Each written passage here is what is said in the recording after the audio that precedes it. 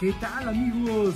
Les saluda con mucho gusto el cuentacuentos Mario Iván Martínez y les damos la bienvenida a nuestra sección desde la distancia cantando con mis amigos.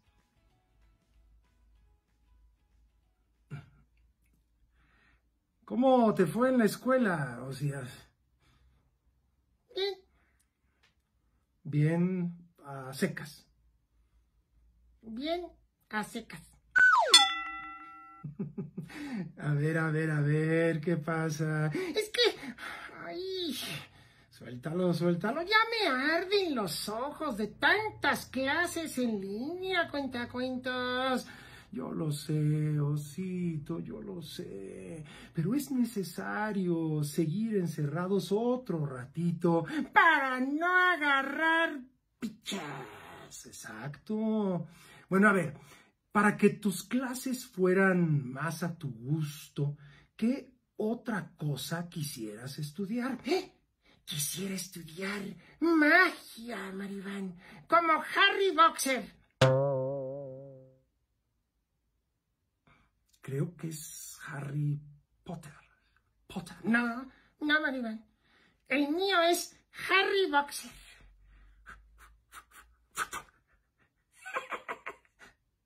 Muy bien. Bueno, entonces si fueras mago, si fueras, a ver, si fueras Harry Boxer. este-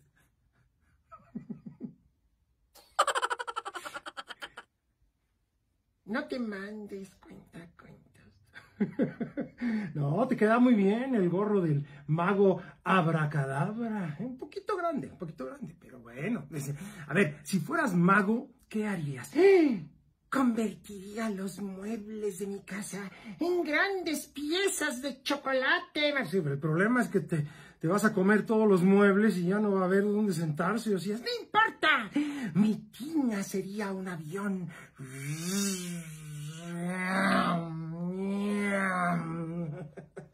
muy bien. Y mi caballito de madera, Mario Iván, tendría patas y cantaría canciones y... Bueno, bueno, bueno, todo eso está muy bien. Pero hoy quiero compartirte la historia de un duendecillo. Un duendecillo que fue a la escuela de magia, esa escuela a la cual tú quieres asistir. Pero hizo magia desapareciendo el objeto más chiquito, más chiquito y aparentemente insignificante que puedas imaginar. Yo habré de acompañar desde la distancia a mi querido colega y joven cuentacuentos Manuel Acosta para recrear juntos la historia de Amaya Cía Abascal que se titula Pepito. Toque de magia. Me voy para el otro lado del estudio. Tú despide, Osías. ¡Juega!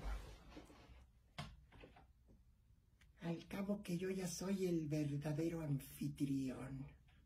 ¿Escuché eso, Osías? Adelante, Manuelito. Tomo nota de tu magia para Harry Boxer. ¡Que lo disfruten!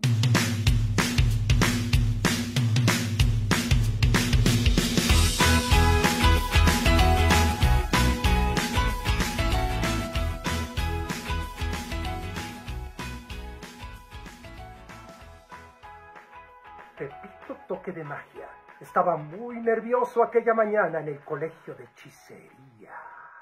Eh, los duendes también nos ponemos nerviosos cuando tenemos que hacer un examen.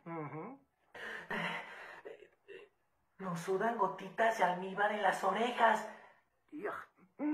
Pepito Toque de Magia había preparado mil veces hechizos y golpes de varita.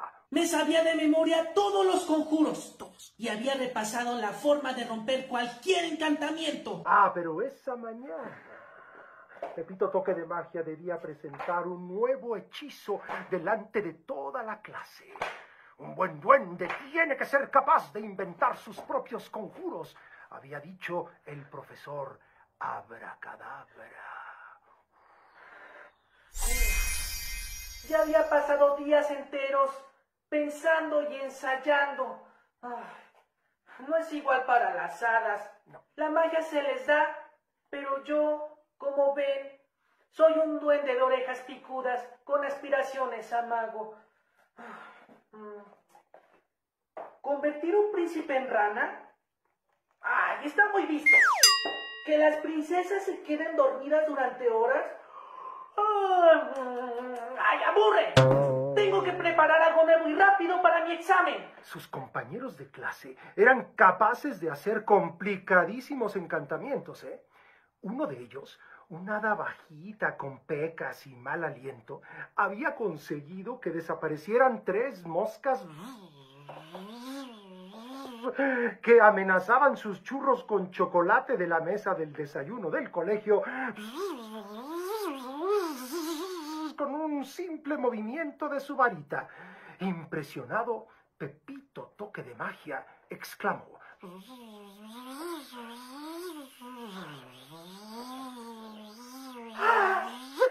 ¡Y vaya cosa! Adiós, moscas. Mm, podría patentar el hechizo. Otra arita de trenzas y nariz respingona podía adivinar lo que pensaba cada uno de sus compañeros. Solamente tenía que cerrar los ojos y quedarse muy quieta, muy, muy quieta, mientras la nariz se le movía de arriba abajo como un conejo así, mira. El lobo piensa en una sabrosa abuelita, decía la dita.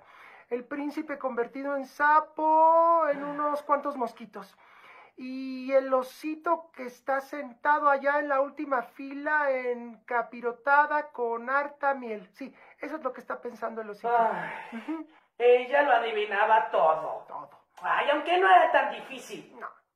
Porque ya para el mediodía todos tenían hambre. Sí. Cuando el profesor, abra cadabra, me llamó al pizarrón, me puso a temblar. Entonces se colocó su gorro de Merlín, se acercó a mí y dijo, ¿Con qué nos vas a sorprender ahora, Pepito Toque de Magia? Mm. Ahora resulta que los duendes le tiran a las hadas. Susurró por lo bajo una dita de pelo verde. La oí, la oí. La oyó. ¿Manzanas envenenadas? ¿Lagartijas que se convierten en dragones? ¿Qué, Pepito? ¿Qué? ¿Eh? No, profe. Eh, botones que desaparecen.